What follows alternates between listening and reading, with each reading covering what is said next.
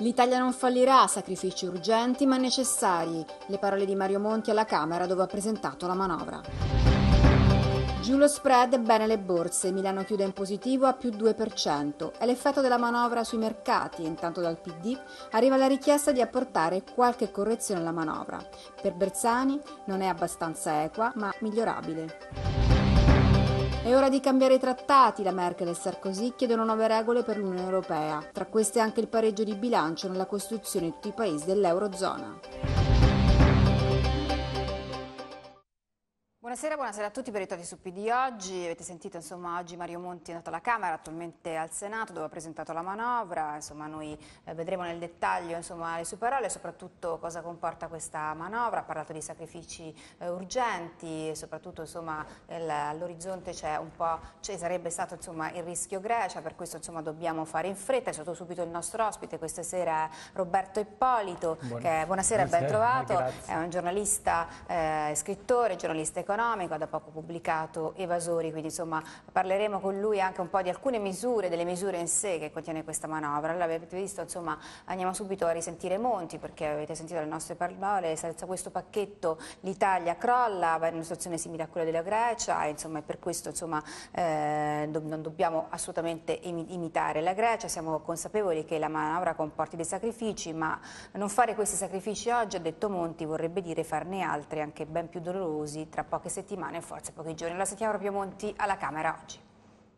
Gli interventi, anche dolorosi, deliberati e trasmessi alla valutazione del Parlamento, deliberati nel Consiglio dei Ministri tenutosi ieri, contengono in sé i semi di un'azione che mira a disegnare l'Italia dei nostri figli, un'Italia seria, europea, saldamente ancorata ai valori del lavoro e del risparmio, ma finalmente capace di esprimere una crescita duratura.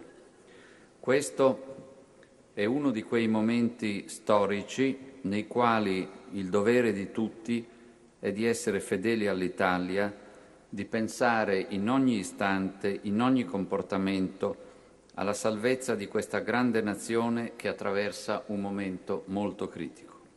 Allora io ti chiedo subito una cosa, insomma Monti dopo la presentazione ieri sera in conferenza stampa, proprio dopo il Consiglio dei Ministri, oggi alla prova proprio della Camera, del Senato, dove attualmente sta parlando, ecco come valuta questa manovra e soprattutto è stata un po' definita dai giornali in queste ore, insomma almeno da alcuni, eh, la manovra delle tasse e della poca crescita, come, insomma che idea si è fatto di questa manovra? E poi entriamo nel dettaglio delle misure. Allora sì, però come dire, se entriamo subito eh, nel giudizio sui singoli pezzi poi rischiamo di dimenticarci, prendo le parole di Monti, che questa è una manovra seria ed europea. Avevamo bisogno di serietà e dopo anni e anni di anti-europeismo più o meno evidente, più o meno mascherato, ma sostanzialmente molto forte, oggi finalmente abbiamo un governo che torna a essere europeista. Questo, come dire, è il punto di partenza e ci fa tirare un sospiro di sollievo. È una manovra che tenta di correggere i conti pubblici da dieci anni lasciati andare, come tale si preoccupa un po' troppo del versante delle entrate, quindi troppe tasse, rispetto al versante delle uscite che non devono essere soltanto i tagli eh, delle risorse date agli enti locali, per esempio, ma deve essere un intervento approfondito di riduzione della spesa pubblica angolino per angolino. Allora, poi su questo entriamo insomma, nel dettaglio, anche perché insomma, abbiamo una scheda che ci delinea maggiormente quello che è insomma, questa, questa manovra. Allora, vediamo la scheda di Beatrice Rutiloni. L'obiettivo è il pareggio di bilancio entro il 2013, ma per fare questo bisogna stringere la cinghia. Si rivolge ai cittadini in prima persona a Mario Monti per spiegare la manovra a cui lui stesso dà un titolo, Salva Italia. Un pacchetto di misure che vale 30 miliardi lordi e 24 netti, che tenterà di invertire il segno meno del PIL annunciato per il prossimo anno. Equità, rigore e sviluppo è il mantra del professore che presenta una manovra senza la quale l'Italia va in default, ma che addossa un grosso onere sulla previdenza, tanto da far piangere un ministro. Perché il sistema pensionistico è un meccanismo lungo tra le generazioni e allora abbiamo dovuto, e questo sì che ci è costato anche psicologicamente, chiedere un,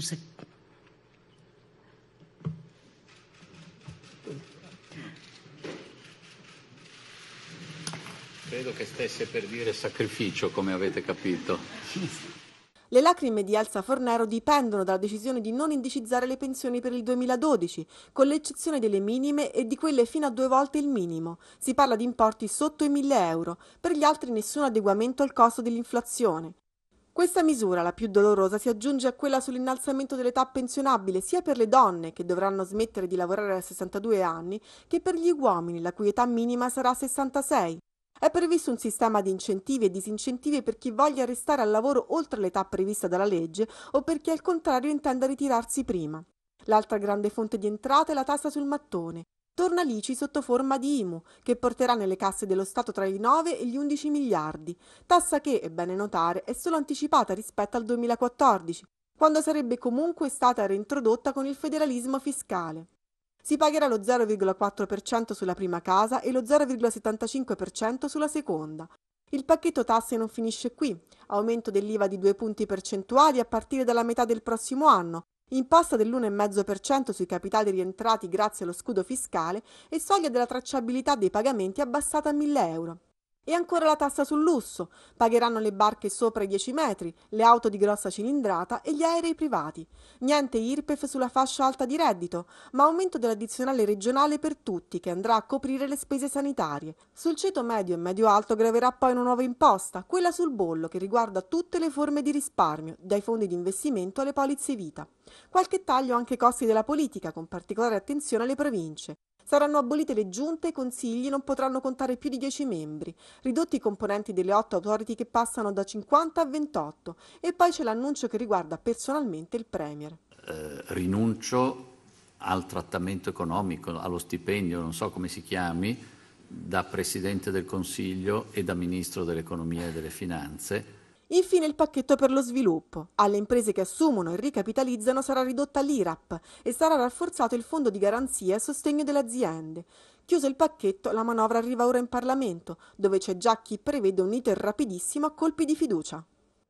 Allora Ippolito, io le chiedo subito, insomma, poi eh, naturalmente valuteremo ancora insomma, quello che succederà tra i partiti, però intanto ecco, si aspettava qualcosa di più, eh, cosa manca e soprattutto insomma, Monti ha detto che non pagano i soliti noti perché insomma, un po' la critica è stata questa in queste ore, lei che pensa? Allora, il quadro complessivo è indubbiamente un quadro che mira a raddrizzare i conti pubblici, quindi questo non dimentichiamoci e se non fossero successe così tante cose negative in questi ultimi anni non saremmo a questo punto. Detto questo, manca qualcosa. Le lacrime di eh, Elsa Fornaro sono nel momento in cui parla dei sacrifici chiesti ai poveri, non ha pianto per i sacrifici chiesti mm. ai ricchi. Mm. E perché non ha pianto? Perché quei sacrifici lì, come dire, non ci sono o non ci sono nella misura adeguata. Quindi manca un'imposta patrimoniale o un'imposta sulle grandi ricchezze ma forse avrei il dubbio che la stessa ICI sulla prima casa o comunque sulla casa ha un dislivello tutto sommato abbastanza basso fra la prima casa e i patrimoni più consistenti. Quindi uno, manca qualcosa sui patrimoni. Due, parte fiscale eccellente, eh, certamente la tracciabilità dei pagamenti, tutto ciò che lascia traccia può essere ricostruito, ma deve essere come dire, indagato, cioè sono necessari i controlli che negli ultimi anni sono pesantemente diminuiti, i controlli fiscali sono purtroppo fastidiosi ma necessari. Questo è l'eredità un po' del governo Monti, in Tremonti voglio eh dire. Beh, insomma, eh sì, è... negli ultimi anni i controlli sono diminuiti, sul controlli fiscali in generale, controllo per il lavoro nero pesantemente diminuiti, se noi possiamo fare la misura fiscale più bella al mondo, se però non andiamo a verificare, è come fare, mettere un divieto di sosta e poi non mettere i vigili urbani al lavoro per andare a vedere chi ha messo la macchina in divieto di sosta. Quel divieto di sosta diventerà completamente eh, inutile. Terza cosa che purtroppo manca, tagli mirati, come un po' accennavo prima, sulla spesa pubblica cioè andare ufficio per ufficio, angolo per angolo, a vedere che cosa si può fare, come lo Stato contemporaneamente può essere anche modernizzato. Una valanga di documenti in meno, una valanga di email in più, il risparmio è meraviglioso. Intanto il segretario del Partito Democratico Pierluigi Bersani, proprio dopo l'intervento del Presidente del Consiglio sulla manovra, proprio a Montecinorio, ha detto confermiamo che siamo pronti a prenderci le nostre responsabilità, mi abbiamo detto che anche con nettezza cosa faremo noi, cosa chiediamo si faccia, dobbiamo assolutamente migliorare la manovra, alleggerendo sua, alcuni punti, si tratta di una manovra non abbastanza equa ma migliorabile, avete sentito insomma, le parole. Allora sentiamo cosa, ancora cosa ha detto Monti proprio in aula. Questo è ovviamente solo l'inizio. Siamo adesso nelle non dal punto di vista dei carichi, non, non proporremo eh, altrettante cose ogni 17 giorni, vi posso di questo assicurare. Speriamo che non sia necessario. E, questo dipenderà anche da ciò che il Parlamento e dalla eh, tempestività con cui il Parlamento eh, riterrà di ehm, dare approvazione, e cioè conversione in legge, dopo tutti i dibattiti che saranno necessari a queste misure. Ma questo è un primo passo anche in un altro senso. Avete visto, avete sentito, sapete, il Presidente del Consiglio Berlusconi sa particolarmente perché la sua lunga esperienza è ancora recente, di quanto ciò che si fa qui venga scrutinato, valutato, discusso, valorizzato o meno in sede europea. E sappiamo anche, me l'avete manifestato in tutte le occasioni dei vostri interventi precedenti, che eh, l'Italia è pronta a fare ciò che deve fare, ma non vuole che l'Europa non faccia lei ciò che deve fare.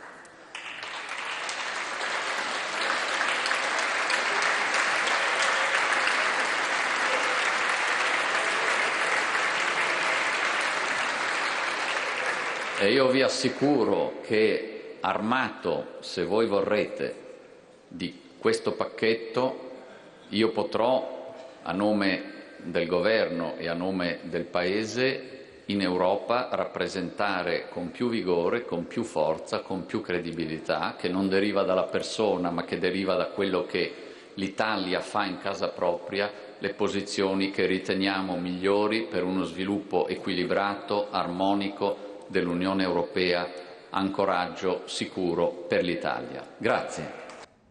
Allora, intanto però è sceso sotto il 6% il rendimento dei BTP decennali, 5,98%, mentre lo spread con il Bund tedesco è sceso a 378,7%, il prezzo pagato dal titolo di Stato aveva sfondato il tetto del 6% soltanto lo scorso 28 ottobre. Ottima performance anche delle borse europee, soprattutto Milano che ha chiuso oltre il 2%, insomma, quindi eh, ecco questo comunque è una buona notizia. Adesso leggevo quel commento di Brunetta, dice se, se, Monti, se lo spread supera torna a 200 Monti ha vinto, insomma, diciamo diciamo che è una cosa eh, che, che, che, va, che bisogna curarsi a questo punto per il bene dell'Italia ovviamente. Ma, eh, certo, anche perché questo come dire, è diventato antipatica la parola spread, ma significa differenza di interessi, gli interessi sono quelli che paghiamo sul debito pubblico, se gli mm. interessi sono più bassi lo Stato ha meno bisogno di soldi è, è, molto semplice, quindi ne possiamo gioire sotto tutti i punti di vista, come italiani, come senso di immagine generale, ma anche come tasca nostra. Servono meno interventi, ovviamente poi bisogna sempre dedicarsi a ridurre deficit e debito. Senta, ma come mai secondo lei sulla, sulla tracciabilità mm, insomma, non hanno usato più di tanto? Hanno preso poi d'altro molte indicazioni del Partito Democratico, però secondo lei perché? Perché c'è sempre una parte di opinione pubblica drammaticamente sconvolta. Io continuo a sentire persone, ah, la viene violata addirittura la privacy. Stamattina in un dibattito ho dovuto dire, scusate, ma quando siamo all'aeroporto, al metal detector, che si apre la valigia e tutti ci controllano, quanta biancheria abbiamo, quante camicie abbiamo, che cosa portiamo dietro, non è violazione della privacy. Allora mi è stato obiettato, eh, ma è per la sicurezza. Eh, ma perché le tasse non le paghiamo per la sicurezza, per la polizia, la magistratura, i carabinieri, oltre che per i banchi delle scuole l'asfalto? E allora tutto questo però non è chiaro, come dire, sembra sempre che si dia fastidio alla gente. Allora mettiamoci in testa che se siamo controllati e adeguatamente, seriamente, civilmente, c'è una possibilità che gli evasori, che sono tanti e sono troppi, ricordiamocelo, la stima dell'evasione, come dire, accettata da tutti è 120 miliardi di imposte evase sì. in un anno. Il deficit pubblico del 2010 è di 71 miliardi, molto molto meno dell'evasione fiscale. Pensate come staremmo bene. Allora, purtroppo lì, come dire, anche Monti risente non di una timidezza sua, di un problema generale che toccare queste cose, come dire, sempre spaventa e delicato. Bisogna incamminarsi dritti su questa strada e addirittura si potrebbe fare un salto successivo, far sì che, come dire, anche come forme di sollecitazioni, diminuire le commissioni sulle carte di credito, aumentare le commissioni sul prelievo di contante. Allora, su questo poi torniamo, intanto però sentiamo cosa ha detto proprio alla Camera il capogruppo appunto del Partito Democratico Dario Franceschini, proprio in risposta insomma, eh, sulla manovra che ha presentato oggi Monti e sulle proposte del PD. Sentiamo. Noi avremmo lavorato per una maggiore equità, diciamo soltanto i titoli per la brevità, un intervento più graduale su, pensioni, sulle pensioni, uno scalone meno improvviso, non dimenticarsi di chi aspetta, vede innalzarsi l'età non mentre sta, già, sta lavorando, ma avendo già perso il lavoro, non dimenticarsi dei lavoratori precoci. Eh, avremmo, avremmo eh, voluto e vorremmo una, una franchigia maggiore per la prima casa, per l'IMU sulla prima casa. Avremmo voluto invece di più sui grandi patrimoni, sulle rendite finanziarie, avremmo cercato risorse sulle frequenze televisive e sulla dismissione del patrimonio pubblico immobiliare. La destra probabilmente avrebbe fatto altre scelte. E noi le cose che abbiamo in mente, che le abbiamo detto negli incontri, nessuna di queste è in un momento complicato e difficile dettata dal problema dei voti del consenso, ma sono dettate dal secondo noi, il rispetto di un principio che non si deve mai dimenticare, di giustizia sociale, perché ogni cittadino italiano a cui in queste ore si va a chiedere un sacrificio deve sentire, deve avvertire che il sacrificio è chiesto ad ognuno in base ai propri mezzi e che non ci saranno più furbizie, non si tollererà più chi da anni viola le regole ed evade commettendo un delitto contro la propria comunità, una vigliaccheria contro la propria comunità, quella in cui vive. Per questo noi vogliamo e continueremo a lavorare un impegno molto forte sull'evasione fiscale. Le proposte che le abbiamo fatte era un incontro ufficiale, quindi le possiamo riportare qua e che sono state eh, non totalmente, ma positivamente parzialmente accolte, miravano esattamente a questo, la tracciabilità dei pagamenti. Noi vorremmo meno di quei mille euro, perché è una grande modernizzazione del Paese, della scomparsa del contante che crea nero e crea evasione. Vorremmo un prelievo maggiore sullo scudo fiscale, perché se si deve chiedere un contributo di solidarietà lo si chiede a chi ha violato la legge, a chi ha esportato capitali illegalmente e ha pagato solo il 5%, ma c'è un primo segnale in quella direzione e abbiamo, siamo soddisfatti che quello abbia consentito di lasciare l'aumento dell'indicizzazione anche alla fascia di pensione tra 460 e 950 euro. È un primo segnale. Noi ricordiamo che basterebbe oggi quell'1,5% sullo scudo fiscale, farlo diventare il 2% per poter aumentare la fascia in cui indicizzare le pensioni, anche a chi prende 1.500-2.000 euro. Allora le chiedo Ippolito, secondo lei questa mm, insomma, manovra è migliorabile in aula o c'è il rischio fiducia? Poco fa Berlusconi diceva ah, speriamo che insomma, Monti metta la fiducia, bisogna capire perché, insomma, intanto però c'è un margine secondo alla, lei. È abituato alla fiducia. Assolutamente, il governo insomma, e... Eh, c'è un margine per questo confronto? Se, a questo punto no, può essere intanto politicamente mi, questa battuta di Berlusconi mi fa pensare ma allora lui è proprio contento? Se è proprio contento, come dire, boh, visto che i conti pubblici sono quelli che ha retto lui finora, a parte ora questa malignità. Mm, questo governo è espressione di un larghissimo consenso che vuol dire una larghissima e composita maggioranza parlamentare, eh, forze diverse, addirittura alternative fra di loro danno la possibilità a Monti di governare e di stare in piedi. È impensabile che il Parlamento non possa intervenire, sarebbe veramente strano, pericoloso, sarebbe un tirare la corda, magari, come dire, può avvenire in aula e non in commissione la fiducia, insomma strada facendo, però non si può procedere a colpi di fiducia, prendere o lasciare credo sia un pochino troppo. È una cosa che assolutamente Monti, tra l'altro insomma ieri lo diceva anche in conferenza stampa, non sì. è assolutamente come dire, interessato. Intanto però il CIPE domani sbloccherà opere infrastrutturali per un, per un ammontare di 5,2 miliardi di euro, sempre detto Monti sempre in aula, precisando che le opere che verranno sbloccate riguardano soprattutto il sistema ferroviario con l'alta la, velocità, il MOSE, interventi per il sud tra cui anche la Stale Ionica, la metropolitana di Napoli, la strada State Palermo-Agrigento e il porto di Taranto. Alcuni si sono un po' lamentati che forse in questa manovra sicuramente manca molto il Sud, adesso questi insomma sono, è sicuramente il cibo è una cosa importante, quindi probabilmente eh, è un po' realistica questa cosa, insomma, visto che si parla di rilancio. Beh, diciamo, questi interventi, se sono concreti, sono abbastanza importanti e un pochino un segno di attenzione c'è.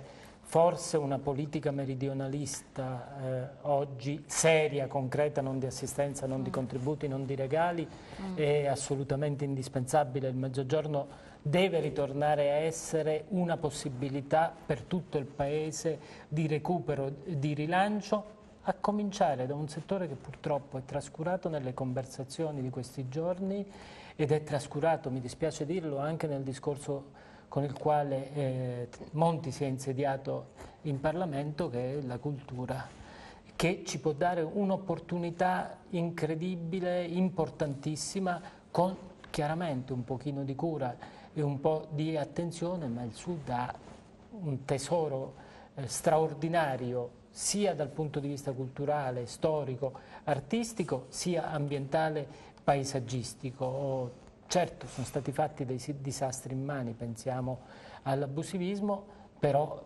può essere il punto di svolta e tutto sommato con investimenti meno impegnativi che non in altri settori.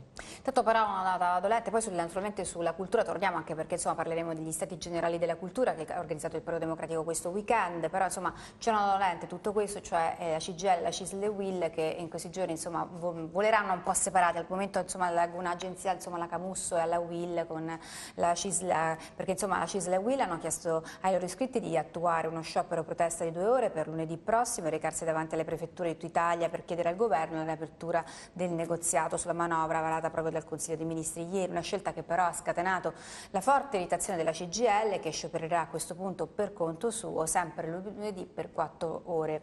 Allora insomma la nota dolente per quello che riguarda i sindacati sono soprattutto le pensioni, no? eh, sono sul piede di guerra, ehm, diciamo che forse questa potrebbe essere un po' la vera spina nel fianco insomma, per il governo Monti. Ecco, è migliorabile da, quanto, da, questo punto di vista secondo lei manovra?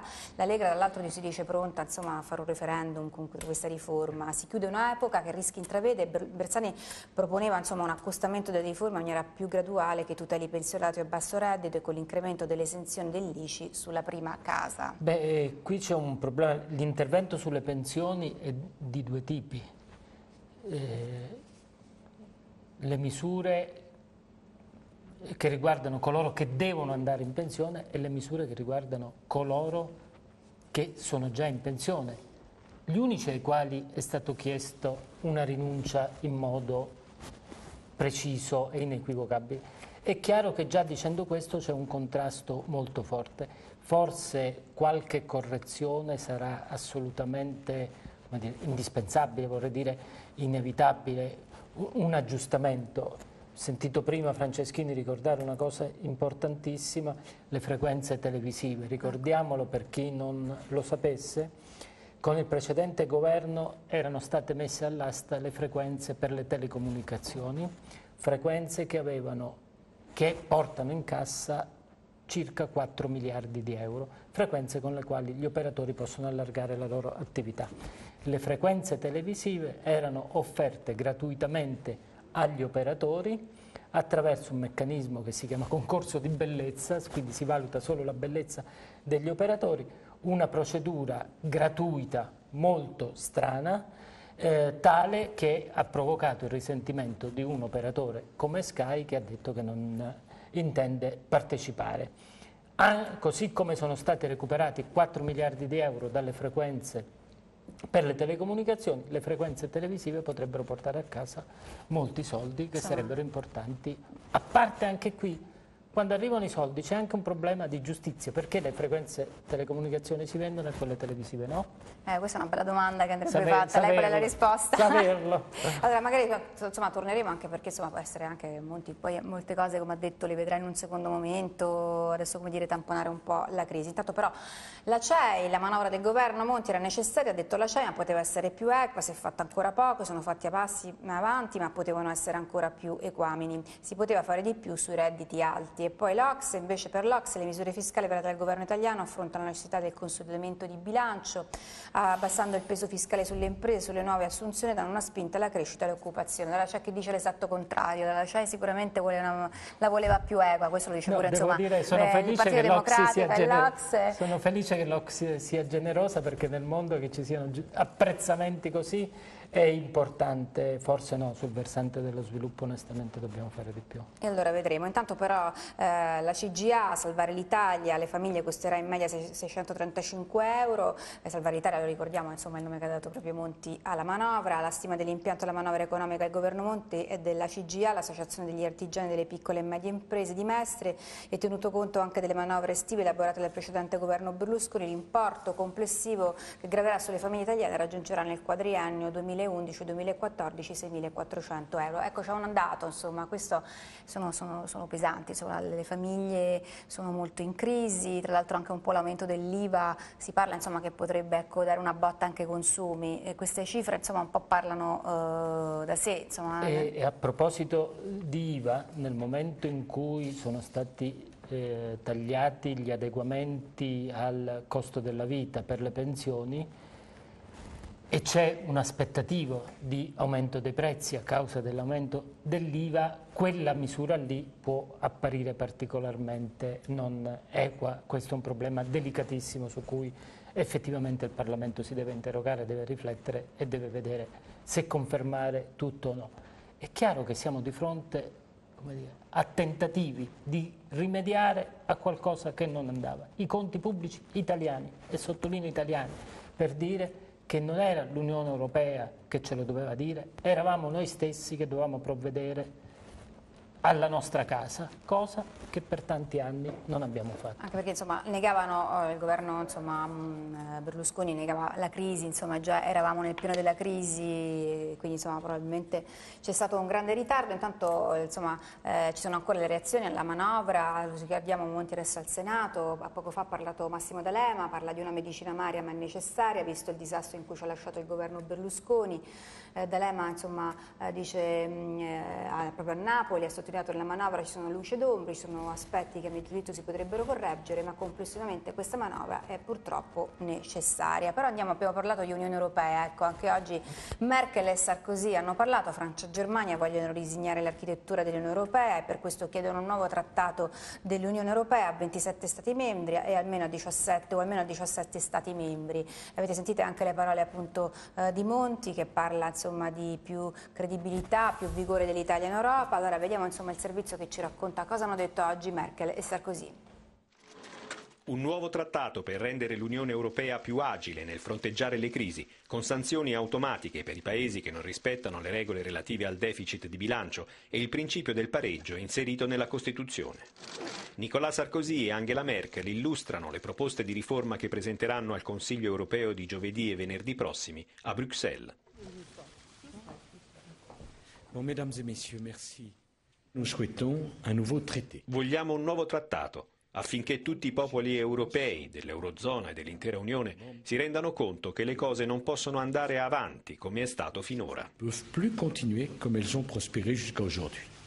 Preferiamo che ci siano 27 firmatari, in modo che nessuno si senta escluso dall'iniziativa franco-tedesca, ma siamo pronti ad andare avanti con 17 membri, aperti a qualsiasi Stato che voglia aderire. 17 ouvert à tous les États qui voudraient nous rejoindre. Siamo contro gli Eurobonds. Ci sarà ogni mese una riunione dell'Eurogruppo e di tutti coloro che sono interessati, con l'obiettivo di accrescere la competitività e rilanciare l'economia. Francia e Germania propongono inoltre che l'introduzione del meccanismo europeo di stabilità sia anticipato dal 2013 al 2012 e che le decisioni al suo interno siano prese a maggioranza qualificata e non all'unanimità. Allora, infine Sarkozy ha anche ribadito che per risolvere la crisi bisogna fare presto, la situazione è grave, sull'Italia poi Sarkozy ha detto che la situazione italiana non è paragonabile a quella della Grecia, che è un caso particolare. Allora, le chiedo subito, insomma, queste, queste, un nuovo trattato, no agli eurobond, obbligo di pareggio di bilancio nella Costituzione, queste insomma alcune delle proposte. Beh, eh, Ma a cosa serviranno queste misure e che valutazione ne dà a questo punto? Perché proprio adesso soprattutto? Allora, se si poteva fare il fermo immagine ci fermavamo anche con la memoria quelle due persone lì quando avevano un atteggiamento diverso e ridevano di noi. Erano Sarkozy e Merkel. Le Oggi persone. le stesse persone. Oggi quelle due stesse persone, nel momento in cui Monti in Parlamento dice facciamo una strategia seria europea, loro due propongono un intervento riformatore sostanzialmente, come dire, se sono affidabili nelle parole, una strategia di rilancio dell'Unione Europea di cui si avvertiva un grandissimo bisogno. La contestualità delle due cose, come dire, ci dovrebbe far festeggiare nel vero senso della parola. Se vogliamo essere un po' presuntuosetti come italiani, potremmo dire guarda caso le due cose avvengono in contemporanea. La Merkel e Sarkozy, pur criticandoci sistematicamente, ci hanno sempre detto non c'è avvenire per l'Europa, non solo per l'euro, ma per l'Europa senza l'Italia. Mm. Per cui io la considero, sotto l'aspetto delle dichiarazioni verbali, una giornata importantissima che siano state dette queste cose. Adesso spero che la Merkel e Sarkozy, che dire, non è che poi abbiano spinto veramente nell'andare avanti nella strategia unitaria dell'Europa, siano con, conseguenti e ricordiamoci però che l'Europa, come diceva il servizio, è fatto da 27 paesi, quindi tutti gli altri 25, fra cui l'Italia, siano possibilmente, auspicabilmente, impegnati nel portare avanti il progetto europeo che finora è stato un progetto importantissimo, lento, ma anche dire, carente su alcuni aspetti. Per quanto riguarda l'euro non ci potevamo preoccupare solo del contenimento del deficit e quindi soltanto delle uscite e poi non, non, occuparci anche delle entrate e dell'armonizzazione della politica economica. Insomma questo è un gran passo, un passo molto importante. Sembrerebbe. Allora intanto però ascoltiamo cosa ha detto oggi eh, Marino Fiasella che è presidente della provincia di La Spezia perché avete insomma visto il, il governo, eh, il taglio appunto alle eh, province, insomma quindi costi della politica. Allora eh, vediamo questa intervista che ha realizzato il nostro collega Stefano Caggelli. Eh, Marino Fiasella, presidente della provincia di La Spezia. Eh, da presidente di provincia, qual è il suo giudizio sulle norme contenute nella manovra proprio riguardo agli enti locali? Ma io faccio una riflessione di carattere generale, dico che purtroppo eh, nel momento nel quale si chiede ai cittadini di fare grandi sacrifici bisognerebbe almeno tenere per i cittadini nei momenti di disagio la rappresentanza democratica Credo che ci sia meno bisogno della rappresentanza democratica quando le cose vanno bene, quando alle persone si è già dato tutto, ma nel momento in cui gli si chiede di fare sacrifici, allontanargli anche la rappresentanza democratica credo che sia una cosa sbagliata. Mi sembra che ci sia un salto nel, un salto nel buio, insomma, un abbandono della presenza sul territorio. È importante, eh, è importante, ciò che le province fanno a prescindere da ciò che la gente pensa, è stato sbagliato, molti non sanno che cosa fanno. È l'ente di prossimità dei bisogni non delle persone ma del territorio, i disastri che stanno accadendo nel nostro paese dappertutto. Insomma. Io naturalmente parlo di quelli recenti sul mio territorio, nelle Cinque Terre, nella Val di Vara, ma anche in Sicilia, in Calabria, dappertutto dimostrano che per il territorio ci vogliono più risorse. Non, eh, e quindi io ritengo che se faccio un appello a questo governo dico di non dimenticarsi di questa cosa.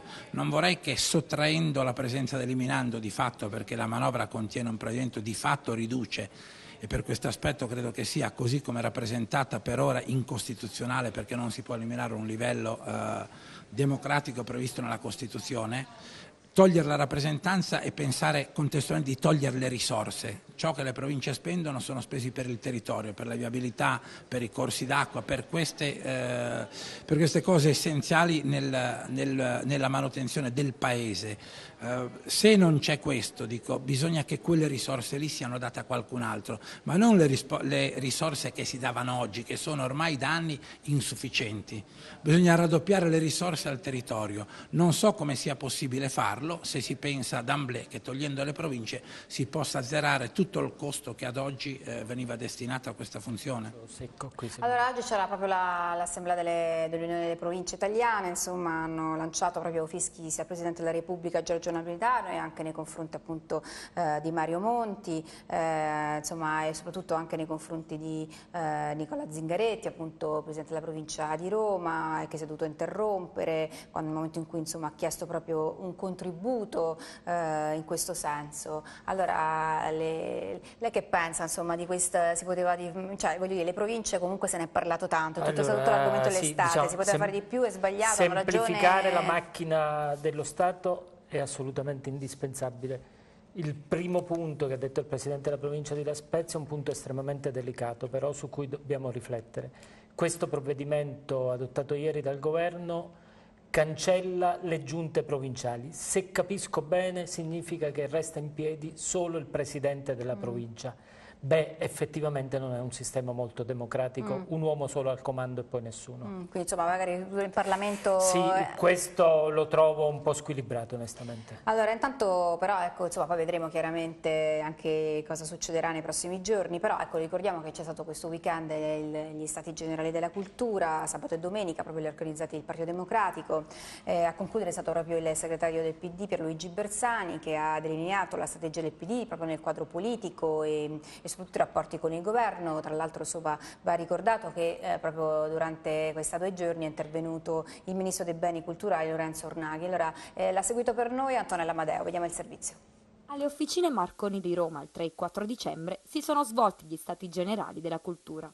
Alla Kermesse hanno partecipato operatori della cultura, artisti, personaggi noti e i tantissimi delegati che negli scorsi mesi hanno lavorato al progetto nei loro territori e il segretario del PD al chiudere la due giorni di lavori, sottolineando la volontà del partito a confrontarsi col mondo della cultura, settore che deve essere centrale nella vita del Paese. Un settore in crisi per colpa del governo passato. Se siamo di fronte al rischio di una crisi sistemica, tradotto in parole povere default, tradotto in parole ancora più povere fallimento, è perché qualcuno ci ha portato fin qui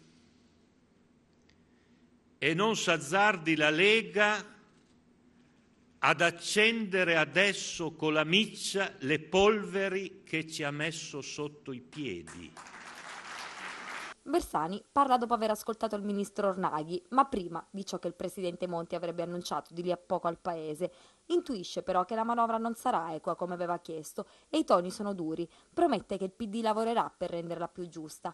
Il senso di responsabilità è più forte di ogni cosa, eppure l'orizzonte della ricostruzione Bersani lo intravede già. Dobbiamo interpretare questa fase propriamente come l'abbiamo definita. Emergenza e transizione.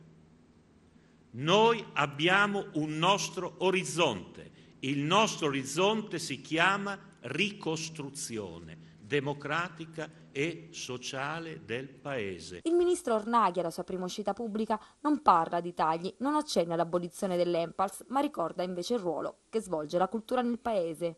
La cultura è vitale quando produce visioni culturali, e adopero non per caso il plurale le quali visioni culturali a loro volta devono produrre visioni autenticamente politiche. La debolezza della cultura è anche fonte della debolezza della politica. Il rapporto fra cultura e politica è sempre stato strettissimo e della fecondità di questo rapporto dunque sempre storicamente dipeso il grado di vigenza, il grado di vitalità la capacità di superare le crisi ricorrenti da parte dei sistemi. E propone di defiscalizzare i costi per la cultura. Soldi che servono per tutelare i tanti teatri in crisi, i cinema che chiudono, le produzioni cinematografiche azzerate e così via, nel convinto Orfini che invoca la fine della guerra tra poveri, con le fabbriche da una parte e i teatri dall'altra. Antonio Pennacchi, in cui lui diceva sì certo, noi soffriamo quando vediamo chiudere un cinema o vediamo chiudere un teatro, ma dobbiamo soffrire di più quando chiude una fabbrica. Io ho cercato di spiegarlo nella relazione, noi soffriamo allo stesso modo perché sono due facce della stessa medaglia. Vogliamo che la Fiat resti in Italia e, siamo disposti a fare di tutto per convincerla a restare in Italia. Se accettiamo questo tipo di sfida, anche alle nostre industrie serve la cultura, serve il sapere, serve la ricerca. E noi questo abbiamo cercato di far capire in questi due giorni. Il primo passo è stato fatto. Di cultura sì che si mangia. Allora, di cultura sì che si mangia, intanto volevo chiedere proprio a, al nostro ospite che insomma era presente, l'abbiamo visto, che tra l'altro ha scritto un libro Il bel paese maltrattato, ecco Bersani parlava di ricostruzione democratica sociale del paese, che ha a che fare tutto questo con la cultura? È, tutto questo è la cultura, perché se siamo un paese che non legge, che non va a cinema, che fa crollare Pompei, che ha i topi alla biblioteca di Firenze, non andiamo da nessuna parte. Ma è una questione innanzitutto di identità, di ciò che siamo noi, di memoria anche che stiamo calpestando. Poi anche un fatto economico. Prendiamo solo un settore culturale fra tutti. L'Italia è un paese che legge poco? Assolutamente sì. Un italiano su due non legge neanche un libro in un anno. Ebbene, il mercato editoriale i libri venduti valgono 3 miliardi e mezzo di euro in un anno. Allora la cultura è anche una grandiosa industria e può essere un elemento di sviluppo fondamentale. Ora bisogna capire come riuscire a dare una spinta a questo settore in un momento in cui non ci sono soldi per nessuno. Ecco, ma Ornaghi insomma avete chiesto qualcosa probabilmente, qual è stata la sua risposta anche in questo senso, anche ma se insomma si è appena insediato? Di, diciamo, mh, mm, Ornaghi sicuramente ha parlato un altro linguaggio. Già il fatto che non abbia parlato di tagli in una giornata drammatica perché appena finito il discorso ha salutato ed è andato a tagliare in Consiglio dei Ministri o a tassare in Consiglio dei Ministri proprio il tempo esatto esatto per arrivare eh, ci ha impiegato dalla fine del discorso al Consiglio dei Ministri. Qualche segnale di novità eh, c'è, lui stesso ha preannunciato che eh, esporrà il suo programma alle commissioni parlamentari per la cultura. Mi sembra che un pochino ci si stia incamminando sulla comprensione che la cultura non è una cosa da assistenza, da elargizione, adesso ti do qualcosina, ma è un fatto di identità del Paese. E una grandissima e clamorosa industria che è industria in sé ma anche per quello che significa il turismo, la gastronomia, eh, i viaggi, gli alberghi, l'artigianato, tutto ciò che è collegato. Non possiamo più intendere la cultura come, dire, come tante piccole nicchie. Tutti i compartimenti stagni. Allora io ringrazio Roberto Ippolito, però vi lasciamo con, delle, appunto, con un, eh, un, racconto attraverso appunto, le interviste, gli interventi di questi due giorni, sempre realizzato da Antonella Amadeo. Grazie per averci seguito, PD oggi torna domani sera, una buona serata a tutti. La cultura secondo lei ha un colore politico? Mm, no, no, la cultura non deve avere un colore politico, la cultura deve essere di tutti e, e chi ha un colore politico si deve, si deve preoccupare di, chi, di, condividere insieme agli altri questo eh, senso della cultura. Lei ha ricordato sul palco che insomma, gioca in casa perché è stato uno dei fondatori del Partito Democratico. Allora, che cosa si aspetta dal PD per quanto riguarda la cultura? Se vuoi una risposta tu cur è che il partito si interessi di più di questo argomento, cioè a dire non è solo una, un convegno che per l'amor di Dio ci aiuta intanto a tentare di cominciare a tracciare linee, fare proposte, a provocare, ma che ci sia un coinvolgimento più in generale. Mi stava ricordando eh, qualcuno, mi diceva sapendo del mio intervento, parliamo di qualità di persone che vengono poi delegate ad avere responsabilità nell'ambito della cultura. Ecco, credo che anche questo sia fondamentale. Quanti anni hai? Tanti.